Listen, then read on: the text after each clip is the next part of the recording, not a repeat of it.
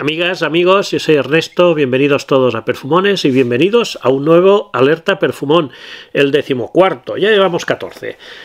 14 eh, perfumones. En esta ocasión toca un perfume de Versace, muy versátil para todo el año, aunque en primavera es cuando, cuando, se, cuando está como pez en el agua y no es otro que el Dylan Blue de Versace. Esta es la caja para que veáis un poquito. Yo tengo la versión de 50 mililitros y bueno, tampoco vamos a incidir demasiado en la caja. Es una caja sencilla, brillante en, colores azules y dorados. Concentración O de Toilette 2016. Mi batch, mi lote es de septiembre de 2022. Eh, lo cual quiere decir que más o menos hará un año y medio que lo tengo. Eh, como os digo, es 50 mililitros, eh, frasco completamente azul, con el tapón dorado. Al ser 50 mililitros, los tapones suelen, suelen aguantar perfectamente porque el peso, el peso es poco. El medallón aquí delante con el símbolo de, de Versace y, y me lo voy a atomizar porque es fantástico. Está muy bien. Buen atomizador, nada al otro mundo, pero perfume muy rico, muy rico. 2016, como os decía, Alberto Morillas, un perfume que podemos denominar sin ningún problema lo que es un perfume azul, estructura Fougère, eh, moderno, no es un Fougère clásico, es un Fougère con, con unos toques muy actuales, eh, que tiene en la salida, tiene notas acuáticas, bergamota, pomelo y hojas de higuera. Luego tenemos ambroxan, pimienta negra, pachuli, hojas de violeta y papiro de Egipto y ya para el fondo nos queda incienso, almizcle, abatonca y azafrán. Versatilidad total. Esto es lo primero, lo primero que tenemos que saber de, este Dylan Blue de Versace. La salida, la salida es muy cítrica. Muy cítrica en la que el pomelo pasa por encima de la bergamota. Eh, ya se nota un poco acuoso, no se nota excesivamente marino, no es un perfume de estos tipo agua de yo, agua de yo profundo, que se, que se nota este toque muy marino, no, aquí es más, más acuático, acuoso, más suave. Eh, también se nota un poco, un poco un perfume verde, tiene ese toque acuático y el, toque verde, que también es el que le da ese, ese, ese toque fougère. ¿no?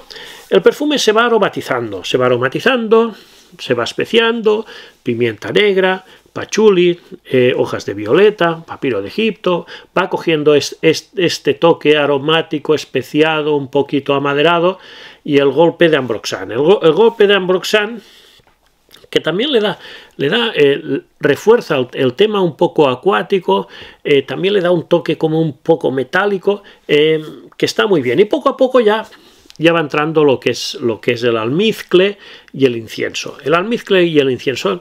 Eh, lo que es el, el, abatonca le da un poquito de cromosidad, pero no, la verdad es que no endulza demasiado el perfume.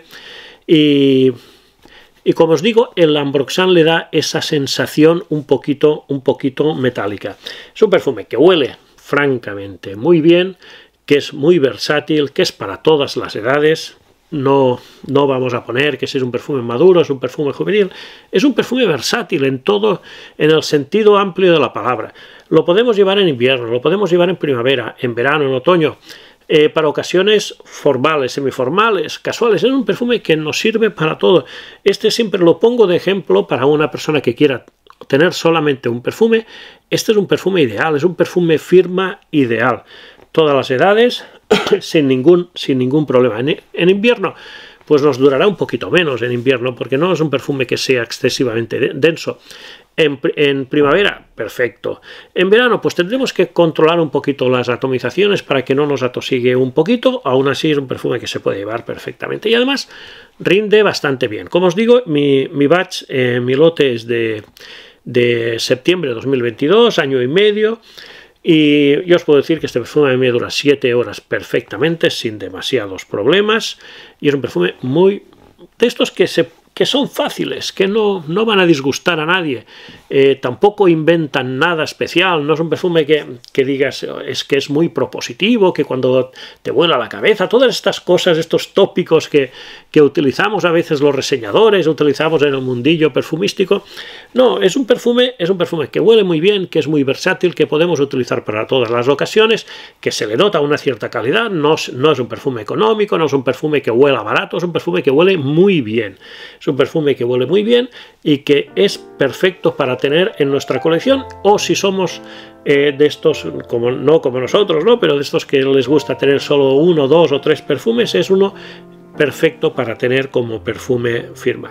Está muy bien y por eso está aquí en una alerta perfumón. Y comentadme vosotros si lo tenéis, si, lo habéis utilizado, si os gusta, si estáis de acuerdo con lo que os he comentado y todo esto, ya lo sabéis. Y nada más, ya sabéis que estos vídeos de, los alerta perfumón son para recordar un poco, para tener, un, tener en una misma colección de, vídeos los perfumes más importantes de mi colección, los más destacados, eh, con, bajo este título de alerta perfumón, que también los etiqueto con, con una nueva, con una lista de, reproducción que podéis entrar. Podéis entrar en, el canal y en, y en, listas de reproducción. Si ponéis, buscáis alerta perfumón, están, ahora estarán los 14 vídeos de, estos. Eh, y al final, cuando a medida que los vaya haciendo, ya sabéis que hago, suelo hacer dos por semana, alguna semana tres, y entonces pues tendremos toda una todo un listado de, de, vídeos, reseñas de perfumes, de los perfumes que más me gustan en mi colección. Ahora estoy buscando un poco más los que ya van más, más para la primavera y me estoy dejando un poco los cálidos para, para mejor ocasión. Nada más, eh, si os ha gustado el vídeo, por favor, como siempre, os pido un like, que me dejáis mensajes, que os suscribáis si no lo estáis y nos vemos en el próximo vídeo. Muchas gracias amigos, hasta luego.